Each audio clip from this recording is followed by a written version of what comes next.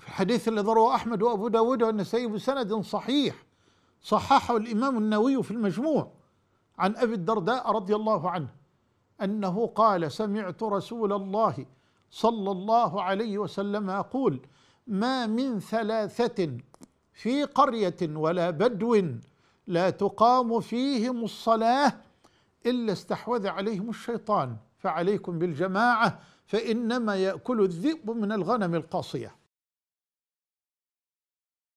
وفي صحيح مسلم عن عبد الله بن مسعود رضي الله عنه قال من سره أن يلقى الله تعالى غدا مسلما فليحافظ على هؤلاء الصلوات حيث ينادى بهن أي في بيوت الله فإن الله شرع لنبيكم صلى الله عليه وسلم سنن الهدى وإنهن من سنن الهدى ولو أنكم صليتم في بيوتكم كما يصلي هذا المتخلف في بيته.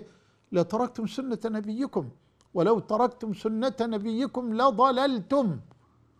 وما من رجل يتطهر فيحسن الطهور ثم يعمد إلى مسجد من هذه المساجد. إلا كتب الله عز وجل له بكل خطوة يخطوها حسنة. ويرفعه بها درجة ويحط عنه بها سيئة. ولقد رأيتنا وما يتخلف عنها أي عن الجماعة إلا منافق معلوم النفاق. ولقد كان الرجل يؤتى به يهادى بين الرجلين. أن يمشي بينهما يعتمد عليهما من شدة ضعفه وعدم قدرته على المشي. ولقد كان الرجل يؤتى به وهذا بين الرجلين حتى يقام في الصف. يقام يقيمه إخوانه يعينه إخوانه على أن يقف بين يدي الله جل وعلا في الجماعة. ولا شك أن إخبار عبد الله بن مسعود رضي الله عنه أنه لم يكن يتخلف عنها إلا منافق معلوم النفاق دليل واضح ساطع على استقرار وجوب صلاة الجماعة عند المؤمنين.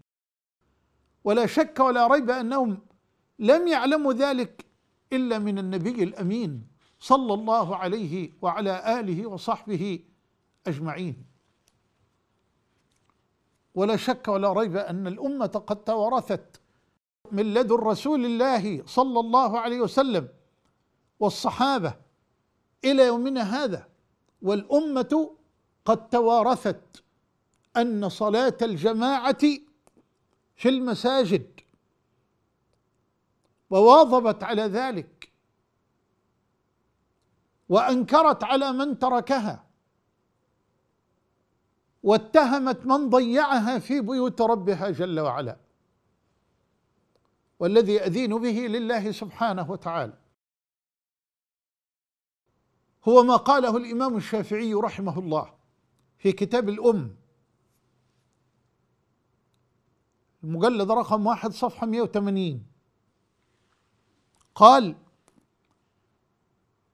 فلا أرخص لمن قدر على صلاة الجماعة في ترك إتيانها إلا من عذر إلا من عذر. ومن رحمة الله جل وعلا كل جماعة صلى فيها رجل في مسجد صغير أو كبير أو في بيته. أجزأت عنه هذه الصلاة.